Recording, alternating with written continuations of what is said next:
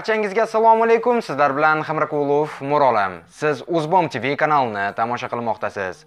Azizlar, bugungi ko'rsatuvimiz ajoyib va g'aroyib.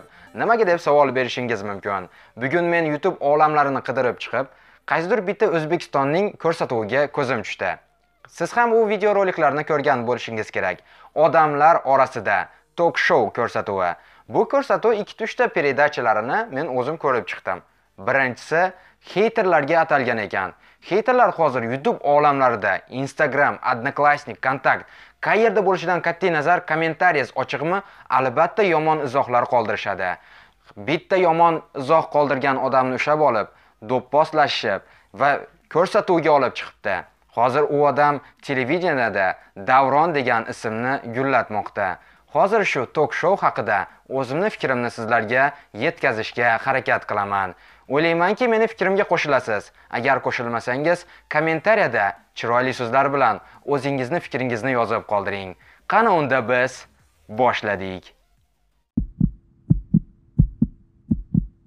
3 aprel kuni aktrisa Luiza Rasulova Instagram ijtimoiy tarmog'idagi sahifasiga Ahad Qayum bilan birga tushgan navbatdagi fotosuratini joyladi. 370 mingdan ortiq obunachilar orasidan o'nlab yigit qizlar surat ostiga o'z izohlarini joylay boshladi. Aksariyat muxlislar nega so'nggi kunlarda Ahad bilan ko'p rasmga tushyapsiz? qabilidagi savollarni berishgan. Jumladan Jalol Kavarniki ostidagi foydalanuvchi "Sizlar mabodo er xotinmasmisizlar? Undan keyin esa hamma rasmda ahad qayum va luiza rasulova degan izohlarni qoldiradi. Xuddi shunday davronchik 97 ham luiza rasulovaga anchayin qo'pol ravishda murojaat etadi. Ammo uning izohlarini ham luiza javobsiz qoldiradi. Bizni YouTube olamimizga yuklangan videoroliklar ostiga 100 dan oshiq obunachilarimiz bir-biridan shakar kommentariyalar yozib qoldiradi. Lekin biz ayrim sabablarga ko'ra ularni o'tkazib yuborsak yoki javob bera olmasak, ikkinchi kommentariyalar yomon so'z bilan yakunlanadi. aktrisaga yozdim kommentariyaga yozmadi keyin men so'kdim o'sha aktrisani hozir aytib bo'lmaydi bu gapni Tokshow ko'rsatuvining qahramoni Davron ismli yigit Luiza Rasulovaning Instagram tarmoqlarida yuklangan Ahad Qayum bilan birga tushgan rasmiga izoh qoldiradi. Luiza Rasulova bu izohlarga javob bermaganligidan so'ng Davron yomon so'zlari bilan haqoratlashga tushadi va bir obunachisi Luiza Rasulovaning tarafini olmoqchi bo'ladi. Ko'rib turganingizdek, bu jang bilan yakunlanadi. Men telefon qildim telefon nomerini oldim keyin telefon qildim ko'rishdik maqsad nima ko'rishishda o'zi tanimaydigan odamni ham oldini olib menga so'kingani uchun Lekin men bu ko'rsatuvni ko'rganimdan so'ng bir necha joylarda to'g'risi xafa bo'ldim. Bu heyterlar uchun alohida videorolik tayyorlangan. Bu heyterlar internet tarmoqlarida shunchalik ko'pki, bularni sanab bo'lmaydi. Hammani o'ziga yarasha fikri bor. Internet tarmoqlarida o'zimiz ba'zi bir heyterlarning so'zlariga sababchi bo'lib qolamiz. Videoroliklarimiz bitta joyda xato bo'lishi mumkin. Yoki videoroliklarimiz o'ta bachkana bo'lib ketishi mumkin yoki videoroliklarimiz odamlarga foydasiz bo'lishi mumkin. Shularga qarab odamlar baho berishga tushadi. shou biznes ham xuddi shunday. Qaysi bir suratlarida ovqat yeganlari, qaysi bir suratlarida yotar joydan turayotgani menimcha o'zini muxlislariga bu qiziqarlik emas. Ba'zi bir muxlislarini achchig'i chiqib, kommentariyaga shunday izohlarni qoldiradi. Bu ko'rsatuvni olishdan maqsad men Davronni oqlamoqchi emasman. Men o'zimni fikrimni sizlarga yetkazishga harakat qilyapman. Davron bu yerda to'g'risi xato qilgan bo'lishi mumkin. Bu haq. Yani odamni kommentariyada yomon fikrlar bilan yozish bu orqadan pichoq urishdek gap. Izoh izohlaringga javob qaytara olmayaptimi? Buni tushunib qo'y. U ham senga o'xshab 24 soat telefonda o'tira olmaydi. U- Uni ham o'ziga yarasha ishlari bor. Yomon so'z yozish bu hasad degan gap menimcha. Hasad qilishdan ko'ra havas qilib oldinga intilish kerak. Oldinga intilsa, ko'p narsaga erishsa bo'ladi. Теперь самое. Bu ko'rsatuvga kelsak, Pусть говорят degan ko'rsatuvga o'xshab, o'zimizda ham odamlar orasida degan ko'rsatuv chiqdi. O'ylaymanki, bu internet tarmoqlariga anchagina yaxshigina foydasi tegadi. Chunki Instagramdan hozir boshlandimi, endi YouTube olamlariga ham kirsa, bir necha blogerlarni qo'llab-quvvatlashadi deb o'ylayman. Yo bo'lmasam, bam bam strayklar tashlab kanallarimizni yopib tashlashadi. O'ylaymanki, bizda ham e, qolganlarga o'xshab biz orzu qilgan narsalar bo'ladi. Lekin bu ko'rsatuvni tomosha qilayotgan vaqtimda Fayoz va Muqaddas boshlovchini e, xatti harakatiga men e'tibor berdim. Qanday qilib odamlarga o'zini so'zini qaytarayotgani yo bo'lmasam qanday qilib so'roq savol qilayotgani? Shularga o'zim e, yaxshilab qarasam to'g'risi men u yerda bir necha joylarda e, o'zingiz tanimagan inson bilan ko'rishib olishdan maqsad nima edi? O'zingiz tanimagan inson bilan ko'rishib olishdan maqsad nima edi? O'zingiz tanimagan inson bilan ko'rishib olishdan maqsad nima edi? Siz hozir televideniyadasiz televideniyada odam o'zini ushlab ko'zini o'ynatmasdan yaxshigina u yoqqa qaraydi. Masalan kameraga qarang yo bo'lmasam to'g'ri o'sha so'roq savol qilayotgan davronga qarash kerak. Siz bunaqa qilyapsiz. Menimcha bu yaxshi yaxshi emas. Meni fikrim shu. U begona insonni kommentariyasida o'sha yozganimda Izohida? izoh yozganimda u sal o'zingga qarab gapir o'zingda bo'l unaqa bunaqa shunaqa urishib qo'ydi. Keyin ko'rishib olaylik erkakcha gaplashib olamiz yuzma yuz gaplashganga yetmaydi dedimda ko'rishdik bu ko'rsatuvga ko'plab odamlar tashrif buyurishgan. Ba'zilari hayp orqasidan ba'zi birlari ko'rsatuvga chiqib odamlarda orasida nom tarqalsin. Ha televideniyega chiqqanman mama я в телеке degan nomga erishay deb ko'p odamlar kelgan. Ha to'g'ri man muxlis sifatida umuman san'atkorlar olamiga qiziqaman va bu savolni berdim. Lekin man bunaqa jang bo'lib ketishini umuman urush bo'lishini o'ylamagan edim. Shunchaki o'z shaxsiy fikrimni qoldirish maqsadida shu savolni bergandim luiza rasulovaning obunachilaridan bittasi jalol ismli bola ham bunday kommentariyani yozib qoldiradi. Lekin keyinchalik so'kinmagan u bola. Albatta yoshgina ekan albatta so'kinmaydi. Urib tashlash. So'kingan davron ko'ziga bittagina fingalni olgan. Bu yoshligi uchun so'kinmagan. Agar bu bola ham 19-20 yashar bo'lganda qoni qaynab turgan vaqtda so'kinib kommentariya yozar edi. Умеете, могете просто. ko'rsatuvni yana ko'rishda davom etamiz. Bu ko'rsatuvda so'kingan so'zlar televideniyega chiqilmaydi. Masalan bittasini so'kyapsizmi? Tit degan ovoz qo'yilib qo'yadi yo bo'lmasam ko'rsatuvga qo'yilmaydi kesilib tashlanadi. A bu ko'rsatuvda u so'zni takror aytishiga bir necha odamlar majbur qilishdi. O'sha so'zlarni hozir mana erkakchilikda bo'lib turadi yoki bo'lmasam jahlim chiqdi deb aytyapsiz. Shu hammani oldida ham shu so'zlarni ayta olasizmi? Murojaatlarni real hayotda ham aytib ko'rsinlar. Marhamat aktrisa luiza rasulovani davronbek mana luiza o'tiribdilar muxlissiz hayotda ham shu gaplarni o'zlariga qarab so'zlarni ayta olasizmi? Aytolmaydilar deb o'ylayman. Bu so'zni ayta olasizmi? Aqlingiz yetadimi? Erkakchilik deyapsiz yigitchilik deyapsiz.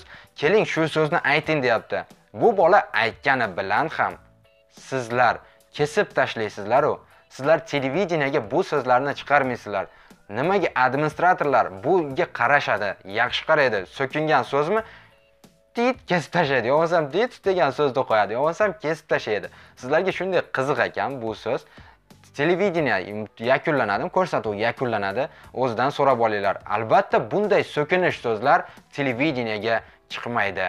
Endi bu yerda to'g'ri kelmaydi. Ko'chada ham aytishga baribir qiz bola aytishga noqulay bo'lishi ijtimoiy yana har doimgidek muqaddas fayozovani heyterlik qilishga tushamiz. Bu yomonlash emas lekin televideniyada qo'lini pesh qilib gapirish e, men endi ko'ryapman odamlar orasida degan ko'rsatuvda od- odamga qarab qo'lini bunday qilib gapirish pesh qilib gapirish dedimi yo bo'lmasam bigiz qilib gapirish dedimi? Bigiz endi bunday. Qo'lini pesh qilib gapirishni endi ko'ryapman. Ko'rib turibsiz. Davronbek mana luiza o'tiribdilar muxlis. Kimnidir rasmi bu insonlarni hayoti umuman ko'rmagan. xuddi shunday davronga qarab qo'lini pesh qilib gapiryapti. Bu televideniyaga o'ta necha e'tibor berib ko'ring bitta heyter uchun alohida ko'rsatuv. Lekin bu bittagina emas. Instagramda mc doni rossiyani qo'shiqchisi o'zbekistonniki emas rossiyani black star e, korxonasini black star korxonasini ijod ijodchisi repper o'zbek mc doni doniyor o'zini instagram sahifasida kommentariyalarni yopib qo'ydi. Nimaga deb savol berishingiz mumkin? Bizni o'zimiznikilar o'zbeklar bu odamni da'vat qilishib tatuirovkang bor yonib ketasan yo'qsa qiyomatda yonasan u bu deganidan hali mc doni charchaganidan har bitta sahifasida video mana shu surat qo'yyapti kommentariyalarni hammasini yopib qo'yyapti. Bekitib qo'ygan. Odamlarni shu kommentariyasidan shunchalik charchaganki bo'ldi sizlarni kommentariyalar kerak emas deb yopib qo'yyapti. Mayli qiyomatda yonsa ham nima bo'lsa ham biz qo'llab quvvatlab qo'yaylik. Bittagina o'zbek black starda bor. Hurmat qilib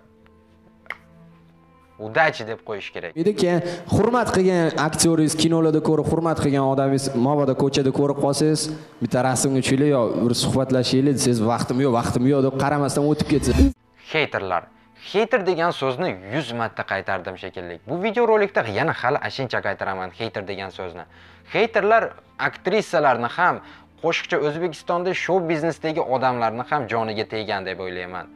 Bo'lmasam bu ko'rsatuv bo'lmagan bo'lardi. Mana hozir e, shunday ko'rsatuvlar yana davom etsa heyterlardan birinchichasi ikkinchi uchinchi davron deyarli как shurigina bo'lib qoladi. Рыгина мразь. Shu birinchi qism ikkinchi qism uchinchi qism yo'q o'ylaymanki unaqa bo'lmaydi. Menga ham nikolay sobolev bo'lgim kelmayapti. Aksariyat yoshlarimiz qanaqadir bilasizmi agressiya bilanda sizni haqoratlashga sizni kamsitishga. Rostdan ham aytganingizdek tajovuz mana shunaqa qilishga harakat qilishmoqda. Hech ashincha yomon gaplar. Lekin biz ularga shunchalik e'tibor bermaymiz. E- endi e'tibor berganimiz uchun shu videoroliklar chiqayotgandir. Lekin biz achchig'im kelmaydi. Meni so'kishsa ham achchig'im kelmaydi пока betimga kelib so'kmasa betimga hali hech kim gapirgani yo'q bu gapni. E, betga hali hech kim aytolmaydi ham. Mana ko'rsatuvda. Ko'rsatuvga keldi oldiga keldi oldida aytolmayapti bu gapni sizda ham singlingiz bordir opa e, opa ukalaringiz bordir sizni bitta farzandman. To'xtang o'zini hurmat qilgan odam birovni gapini tinglaydida siz mana bu kishiga ham hozir gaplarni tugatmaslaridan o'qib ketyapsiz gapirib ketyapsizda siz singlingizga yo bo'lmasa opalaringizga yo bo'lmasa yaqin kishingizga sizga mana shu gapni so'kinib yozishsa siz nima qilgan bo'lardingiz mana bu kishi qarindosh deylikda. Endi xuddi shunday heyterlar ham internet tarmoqlarida baquvvat kuchli Э, накачанные пальцы deydimi Ma qo'llari вообще zo'r yozishga dahshat yozib qo'yishadi. Fikrlashishi ham m, bizga qaraganda ularki yaxshi deb o'ylashadi. Men men bu yerda qarshi emasman. Hammani o'zini fikri bor hammani o'zini a'lo darajada baholari bor. Hamma o'ziga yarasha yirik fikrlar oladi. Chunki biz ochiq havoda yashayapmiz. Hozir kenglikda bemalol fikrlashimiz mumkin internet tarmoqlarida. Lekin so'kinishdan oldin o'ylab ko'raylik. Biz nimaga erishdik? A ular nimaga erishyapti?